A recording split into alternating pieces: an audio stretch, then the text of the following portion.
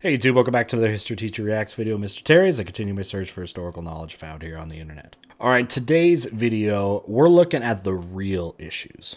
All right, does the United States have a plan for the inevitable zombie apocalypse? Now, this is what you guys on Patreon wanted to see because you voted on this video this week, and that is USA military actually has a zombie plan. This is it, Con Plan 88 eight eight. This is by the Infographic Show, one of my favorite channels um, on the on uh, all of YouTube. Anyway, so this sounds interesting. Now, is it historical? I don't know. I guess I'd be need to understand or need to find out if this has like when this came around. Does it have anything to do with? You know, this kind of stuff usually in my mind, I think of like Cold War era, like trying to hypothesize the many different ways that some enemy of the United States at the Soviet Union could attack the United States. There's some chemical attack that kills people and raises them as zombies or something like that. I'll believe about anything that comes out of the Cold War when it comes to plans and ideas and and like uh, um, conspiracies out there because there sure was a lot. But anyways, I think this might just be just kind of fun to check out. Now the original video link is down below. Make sure you support the Infographics channel. You probably know about them, but you may not be sub to them actually. You've just seen a lot of their videos. But they do a lot of cool stuff um, and a lot of historical stuff, which is cool. Again, thanks to all the patrons that have been supporting this channel. Um, you guys just with your contributions just keep a nice steady um, uh, support of the channel, which I really do appreciate. If you want to get involved, links down below. Starts a dollar a month if you want. You get involved. You can get some uh, um, perks on Discord. You can get some perks, you know, like uh, being able to vote on videos, and there's other gifts and stuff too if you feel like it. But anyway, uh, let's go ahead and get started. Okay, I'm a little afraid. I need to prepare better for this. We got to militarize. I mean, I this this could get bad. So let's get our helmets on, everybody.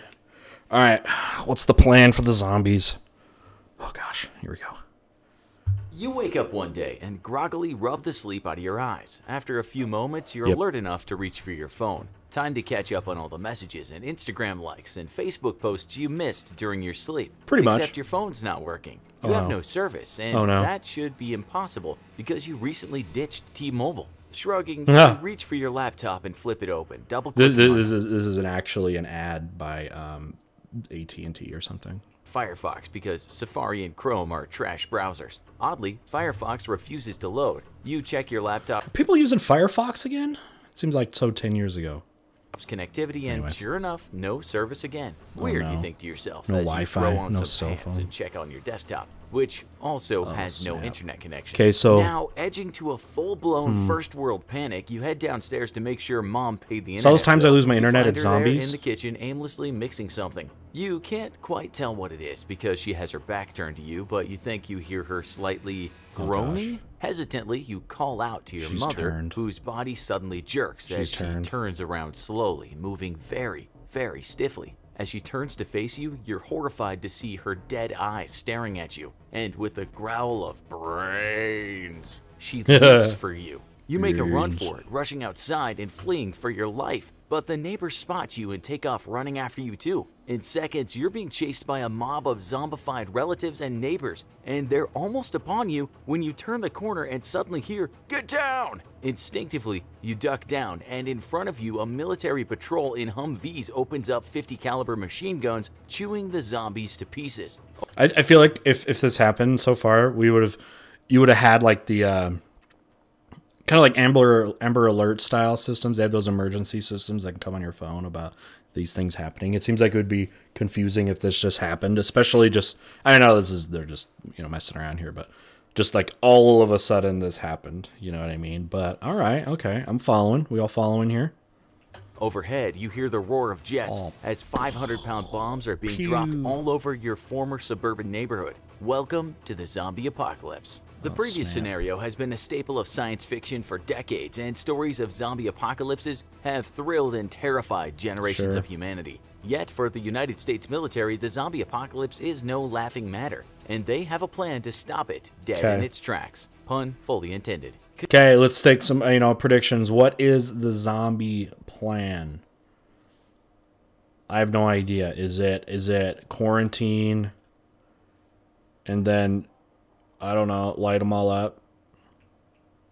Contingency Plan 8888. The United States military Where- where'd they get that regularly number creates from? think tanks whose jobs are to envision future conflict Dude, there's people who or think about disaster scenarios and are paid to then think draw about it. military and civil responses to address these threats. Throughout the years, American war planners have created plans for everything from nuclear war with the Soviet Union to an enemy invasion of the US mainland to responding to a massive asteroid or comet strike Yeah, on planet Earth. for sure. Incredibly, the US military also has several contingency plans to combat an alien invasion, and that's no joke. These plans are highly secretive, as Hmm. are the other contingency plans, and present military options to combat a variety of different alien invasion scenarios, at least to the best as our limited technology allows. Yet, you wonder how hard this would be. Like, this has been handled so much by TV and video games and movies. You have so many different things you could go off. You just take the, well, hey, this sounds like a good idea. This sounds like a good idea. Put it into a plan, right?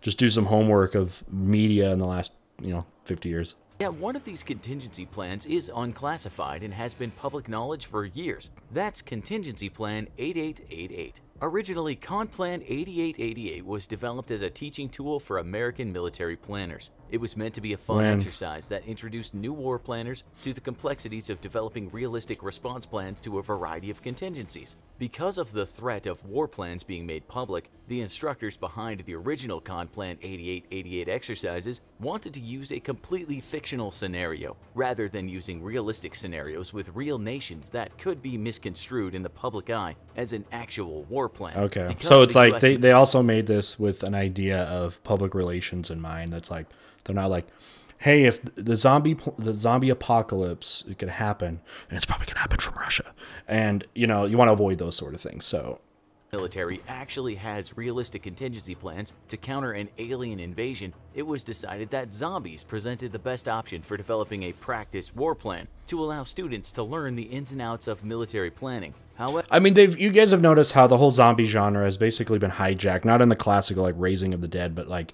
disease, right? Disease making people become aggressive. Of course, I know that's different. A zombie is supposed to be somebody, right, that died and came back to life, right? So I think they're already missing it. Maybe we're just generalizing what a zombie is, but anybody that's what become infected or some some way and has become aggressive towards other humans, right?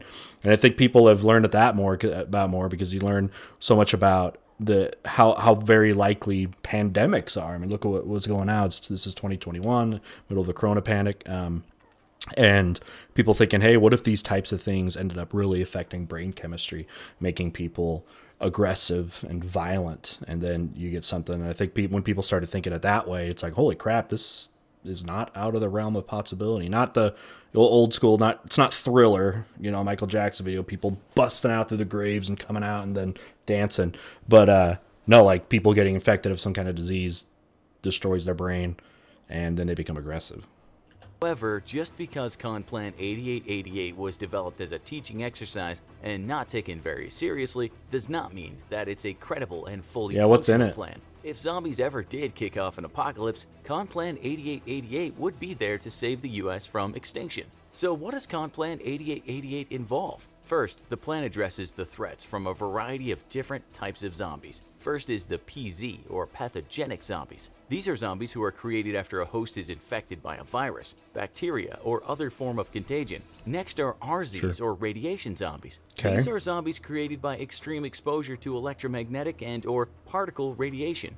That that's where, by the way, I was uh, hypothesizing about these type of plants maybe having roots in the Cold War, where you know the whole uh, radiation hysteria really began with World War II and the use of atomic bombs in Japan, and that's where you get a lot of these kind of stories about radiation victims. Things, think old things like like the Godzilla origin stories, where it was supposed to be like that. These lizards or whatever that are affected by um, atomic bomb testing, and then it turns them large and violent, and all that. And uh, so that's where you know I always thought this kind of stuff came from. And then you start thinking about um, pathogens, like they're saying here, and that could be you know a reality too. Maybe a lot of people think that would be more than the radiation. Why would a radiation create this aggressive thing? Maybe it could. I mean, we see it with. Uh, um, people that have traumatic brain injuries or something like that if it affects that that it it can affect their their um um it, it, they can become more um, aggressive or something like that later on as your brain's trying to protect itself. These are evil magic zombies, or zombies created by an evil occult force. Yeah, that okay. Now, now, now we're bringing up the real ones. Wizard zombies. Okay. Zombies are zombie life forms that originate from outer space or created by the toxic contamination of the Earth's environment by an extraterrestrial source. WZs, or weaponized zombies, are Oh, zombies that have been developed in a lab somewhere to be used as military weapon, 'Kay. perhaps deployed by a foreign adversary. We've seen that all the time pop are culture. symbiont-induced zombies, or zombies who are created by the introduction of a symbiont life form into a healthy host. Brain the slugs? symbiont keeps the host alive, but acting as its personal puppet. VZs, or vegetarian zombies, are zombies who do not feed on flesh, human or otherwise. So we ain't gotta worry about rather them. who feed on plant life, We ain't such gotta as worry about zombies them. from the Plants vs. Zombies series of video games. These zombies pose just as great a threat to humanity due to their appetite for vegetation, which can cause massive deforestation and the destruction of food crops. Lastly, the plan addressed the threat posed by CZs, or chicken Oh, zombies, which are the only type of zombie that actually exist. These zombies are produced when chickens are improperly euthanized with carbon monoxide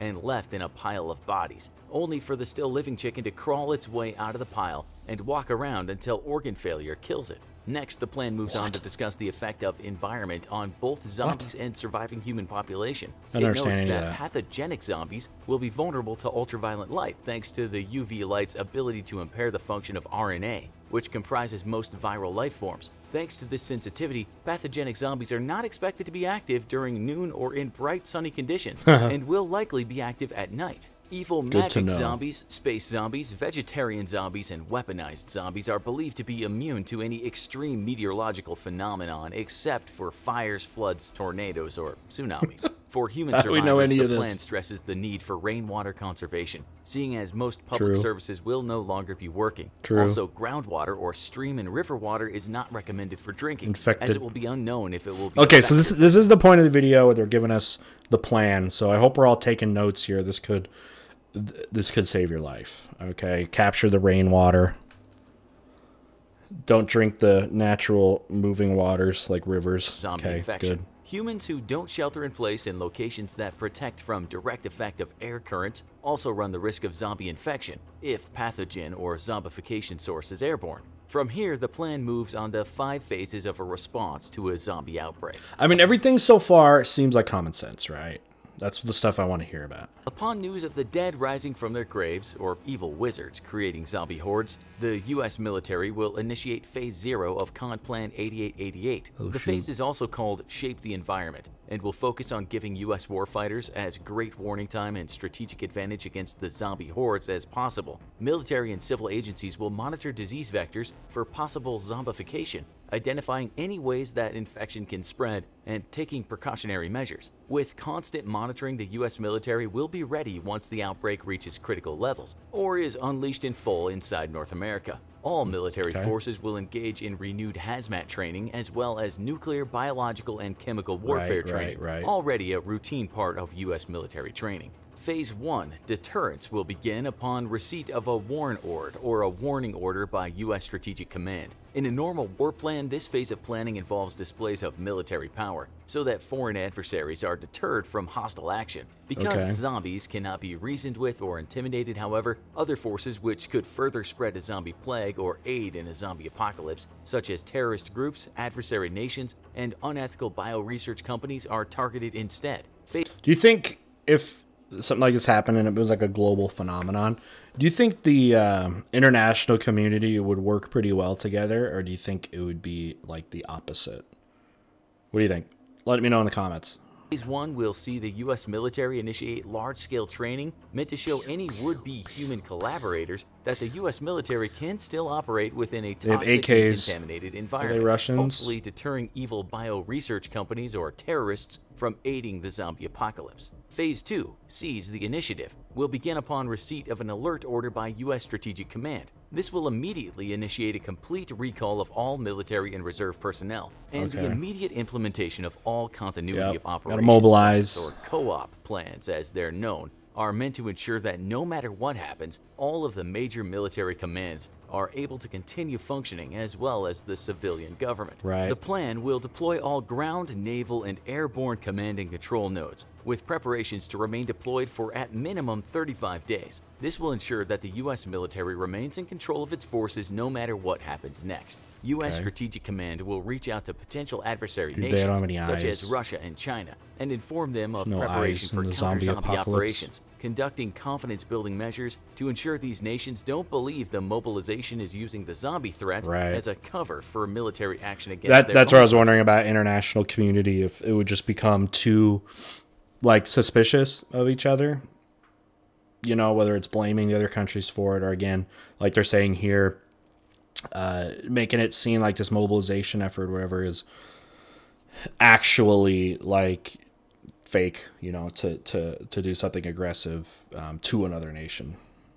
Countries. The U.S. Air Force's Global Strike Command, in conjunction with assets from other services, will immediately generate forces for strike missions against zombie horde concentrations, not just here in the U.S., but abroad. The rest of the U.S. military Oh, will didn't immediately begin fortifying civilian defense zones Oh, and enforcing okay. quarantines where applicable. Phase 3 Dominance will initiate a massive American military response against the zombie threat. Light Combat up. operations must be swift and completely eradicate zombie concentrations, as even a lone survivor can reignite a zombie outbreak. Cities and other major brains. population centers may need to be indefinitely blockaded by military forces while the civilians are relocated to more remote areas. Phase 4 Stabilization will begin no earlier than at least 40 days after the initiation of Phase 3 operations. U.S. military forces will begin initiating local reconnaissance operations in order to determine the strength of surviving zombie forces. They'll also locate isolated pockets of survivors and shepherd them to secure areas, as well as survey the status of basic civil services. Save the such as power, hipsters. water, sewage, and lines of communication.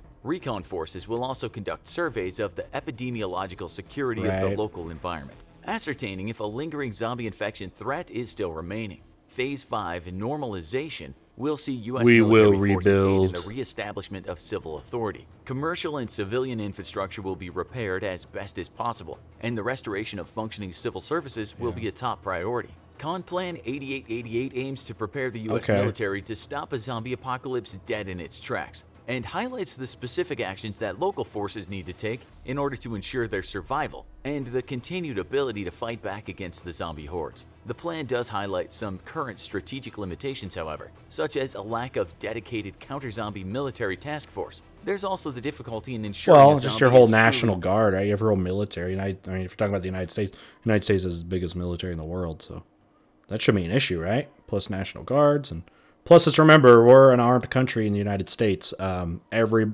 basically the whole population is an army, at least an armed uh, armed army with a lot of people that have had basic um, firearm training and stuff like that. I mean, let's be honest, there are people in the United States that fantasize, absolutely fantasize about this being a reality because they think it would be fun in some way.